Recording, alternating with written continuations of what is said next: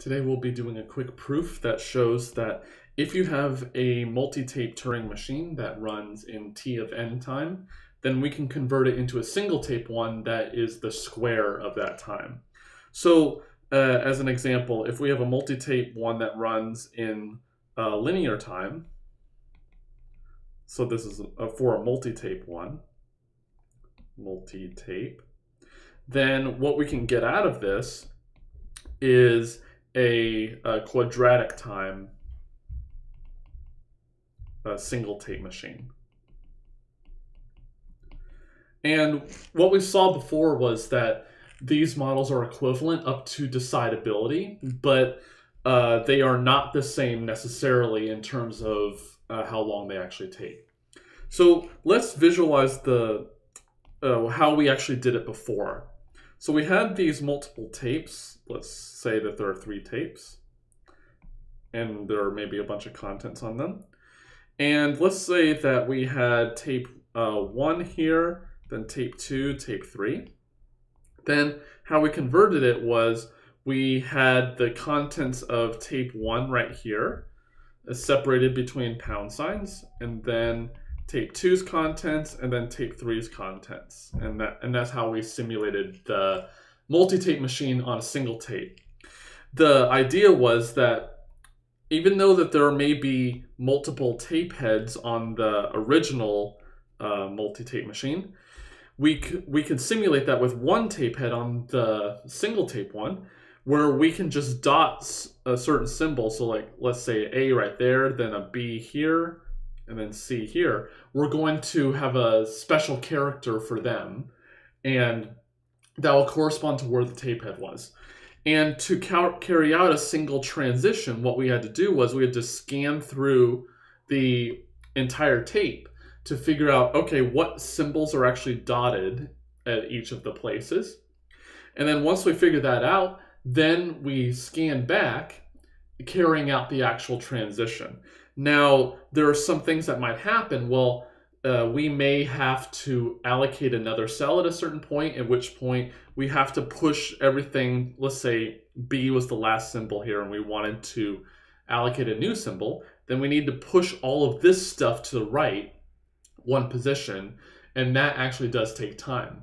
But I claim it doesn't actually do anything in terms of the um, big O runtime because remember the time function is defined for big O.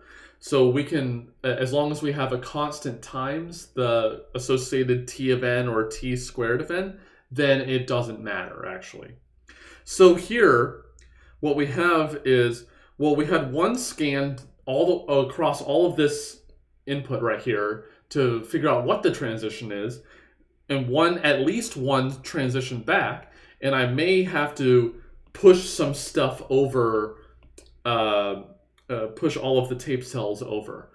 And uh, all even though all of those take time, they take less than um, than and it's always a constant factor more because if I say let's say I'm pushing this B over, uh, push all of these things to the right of B over, then I would have to scan effectively just scan across the stuff to the right of B and then scan back, but that's just adding to the constant in front of the notation.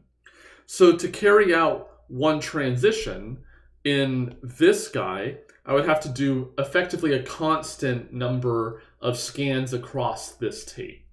Okay, and the thing to note is even if every single one of these transitions over here moved right every single time, the maximum possible place we could ever visit is at most t of n. It's going to be at most this.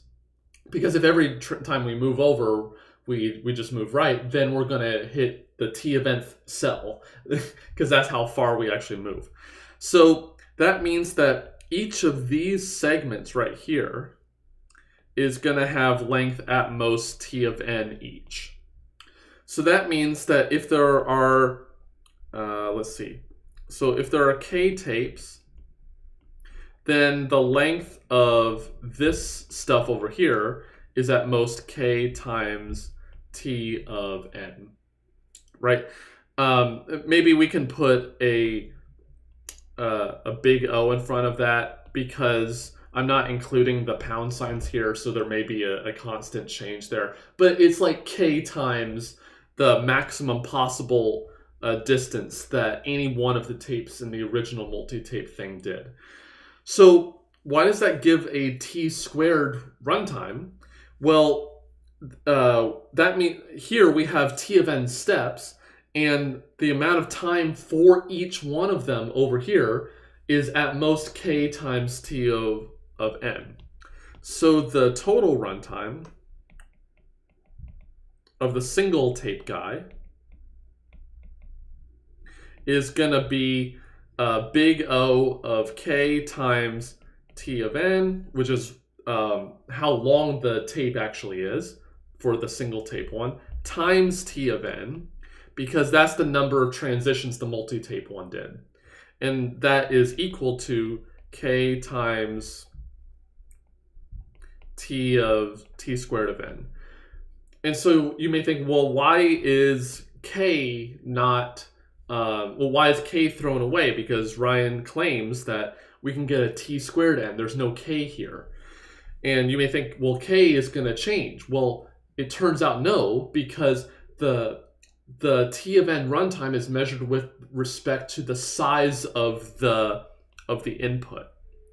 So this is with respect to the input size, which is n. This k is fixed. Once I make the machine, it's fixed. So this is fixed. If I can make a better x, that'd be good. Fixed to the machine. And so it's not going to change with respect to the input. And so we can treat it then like a constant with respect to the input size. Now, if we were somehow if we were somehow um, concerned with like making more and more tapes, which is not the case here, then we would consider this a parameter, but it's not because it's fixed to the machine. So at the end of the day, once the dust settles, we have t squared of n runtime, which is exactly what time t squared of n actually is. So hopefully that was interesting. Leave comments down below about the conversion here. As always, please like and subscribe to the channel. It really helps us out. There are many other links in the video description if you want to support the channel further. And as always, thanks for watching, and I'll see you next time.